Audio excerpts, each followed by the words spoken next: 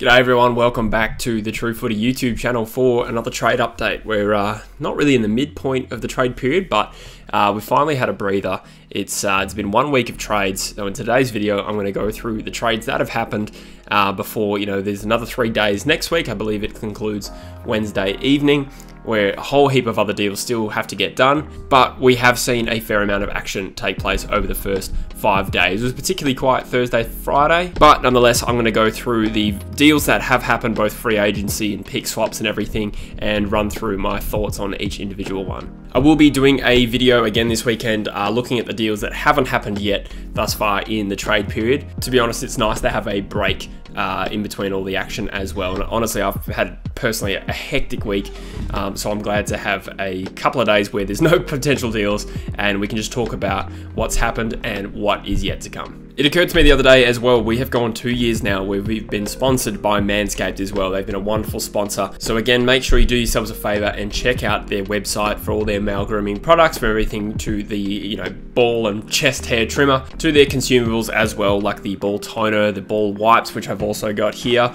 And uh, they've got boxes, they got shampoo, they got heaps of stuff there as well. So you can get 20% off and free shipping on any of their products on their website if you use the code TrueFooty20.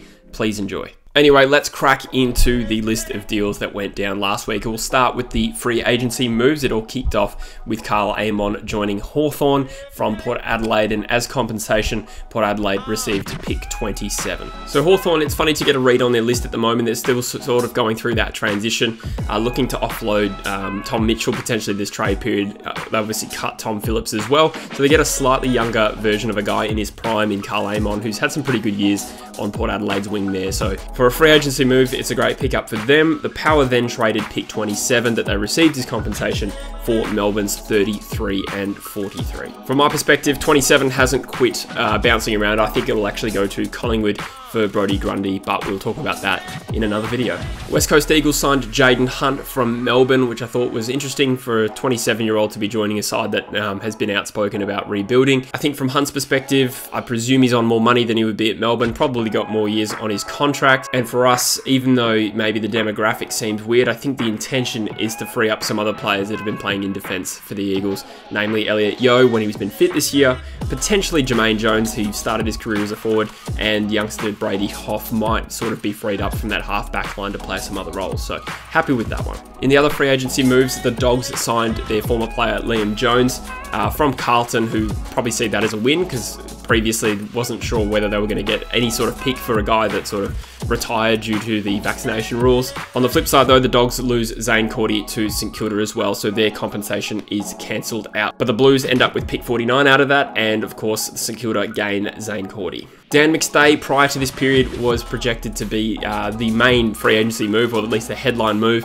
He joins Collingwood, um, but the Lions will probably be a little bit disappointed that they didn't get uh, pick 16 or 17 as compensation, whatever they were originally thinking. Instead, it's band two or three uh, McStay generated for them. So they got pick 35, and the awkward part about that is it kind of has implications on the Josh Dunkley deal. But again, we'll talk about that in another video. To start the actual trade period, GWS obviously fired off a couple of players to Victorian clubs. We know about Bobby Hill, that got done for a future second, so Collingwood adds some uh, not really mature, but somewhat mature forward line depth. So you'd imagine they'd make a spot for him in their best 22 as well. So a, another sort of attacking option alongside Ginnivan in that forward line. Taranto also left GWS and joined Richmond for picks 12 and 19. And you don't need me to tell you how much of a big recruit that is for Richmond. Taranto obviously walks into any side's midfield pretty much in the competition. And for Richmond, that was probably the glaring weakness in their list as well. So they're obviously gearing up for another Premiership assault, and they've got Jacob Hopper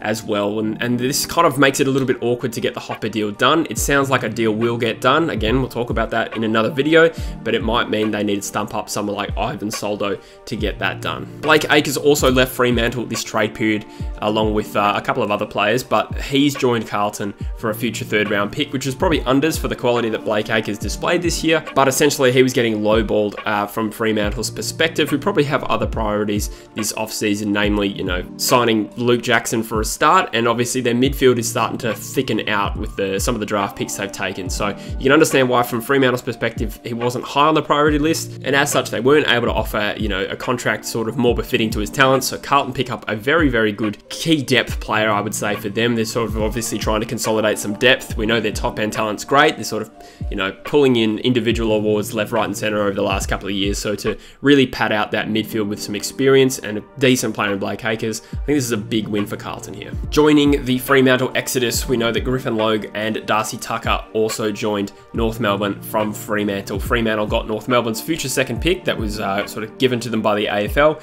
and the future fourth pick as well that they gained in the same way. It's worth noting as well that that future second is North Melbourne's future second. So, you know, if they finish, you know, bottom two again, that's a top 20 pick. It's also worth noting that part of that deal as well that the two clubs swapped third rounders, which means that now Fremantle has Norths, which is almost going to be an entire round better than their third round pick as well if you assume that Fremantle's going to do well next year and North Melbourne won't. But North Melbourne ticked the box of getting some mature talent. They needed a key defender. Griffin Logue wanted to play as a key defender. He's getting better money, you'd presume. And again, same as the Acres situation, Darcy Tucker's not a high priority sort of player for Fremantle to keep. So North Melbourne ticked the box of getting some experience without really touching their first round picks. Then there was a pick swap. The Lions traded back from 15 and 21 to gain an extra second rounder next year from GWS. This would have pissed off the Dogs, who were probably holding out for pick 15 and a future first for Dunkley, and that makes it a little bit awkward. But obviously, the Lions now are consolidating picks to get their father son picks in Will Ashcroft and Jasper Fletcher. Then with the GWS second rounder that the Lions got from this swap, they traded to the Suns. Again, this was just to get some more points in this year's draft, so they traded that future second for picks 25 and 36 this year. So they're really accumulating those second rounders to match bids for both of these players. The Suns also received Tom Berry as part of that deal. I think they said, you know, losing Izak Rankine and losing a pressure forward, they wanted to get, um, well, let's say a cheap one as a replacement. In addition to getting Tom Berry, the Suns also traded for the mature Ben Long from St Kilda. The Suns gave up pick 32 for Ben Long and received a future fourth rounder because then again, the Suns are trying to accumulate points in next year's draft and they don't have the list spots to take all of their second rounders this year, so they're pushing them into the future and also gaining a couple of sort of mature players in Ben Long and Tom Berry. On the whole, I think from a St Kilda perspective, even though Ben Long played 19 games this year, pick 32 is probably a fairly solid offer for a player of his talents. The Suns then opened up another list spot by trading Josh Corbett to Fremantle for a future fourth round pick. Corbett played 16 games in 2021, but just the four this year, and he's out of contract, so this was always just going to be a token spot. From Fremantle's perspective, they're obviously just looking to consolidate some key forward depth. Obviously, that's part of the ground that they're somewhat weak in. Yes, you've got Taberner, but then backing up that is uh, Josh Treacy, Jye Amiss, a couple of young guys in there, so Corbett just sort of adds to that depth without being a real headline trade. The Cats then did very well, in my opinion, by trading pick 18 to the GWS Giants for Tanner Bruhn, who was, of course, a first round draft pick for a couple of years ago. This is a great pickup for the Premiers, obviously looking to replenish their list a little bit. Joel Selwood's retired. Tanner Bruhn is a 20 year old first round draft pick from two years ago, like I said. He's played 30 games. Is he going to be the next Joel Selwood? Probably not. But what they've done is nabbed a former first round draft pick who's been developed for a couple of seasons, wants to play at the club.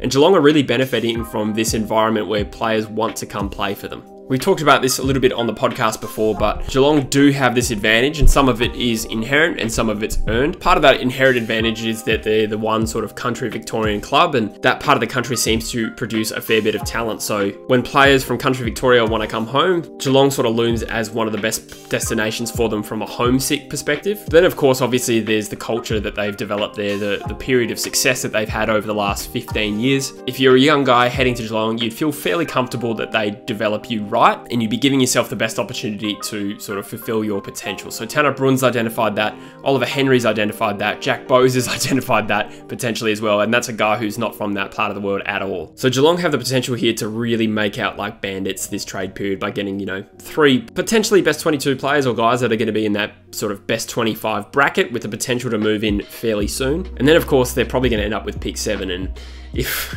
if the trade hypotheticals come true about West Coast splitting pick two, I can't help but notice that Geelong are going to add those three players, have won a premiership, and then still pick before West Coast in the draft. So that is great. And the final piece of business that happened this week was again involving Geelong. They traded four picks, if I'm reading that correctly, for Brisbane's pick 25 this year. So it was pick 25 for pick 38, 48, and 55 this year and a future second round pick. So again, Geelong obviously not intending to sort of draft deep, considering how many players they've traded in this trade period, or at least intend to. And again, Brisbane accumulating those points to match their father-son bids. In my opinion, this pick 25 probably finds its way to Collingwood for Ollie Henry as well. So the Cats could potentially have traded in Bruhn, Bowes, and Henry, and obviously potentially pick at pick seven in this year's draft if they don't on trade it. And they've also haven't touched next year's first rounder as well. So, gee, it's a good time to be a Geelong fan. So there it is, guys. That is pretty much my brief summary uh, or the snapshot of all the deals that have happened so far. There's still a fair bit to unpack in the final three days of trade period. I'm looking forward to it. As I said, it was a quiet Thursday, Friday. I think we're bracing for a pretty big last three days of the trade period. We did say that last year as well, and it didn't come true. But I feel like this year, some of these deals definitely have to get done. So as I said, I will be doing a video sort of projecting next week and what's that going to look like. Obviously, there's been mooted six sort of team mega trades. I don't know if I can break down all the mechanics of that, but I'll run through all the deals that need to get done and how I think they might get done. So thanks for watching, guys. Stay tuned to the channel for more content, and I'll see you in the next video. Cheers.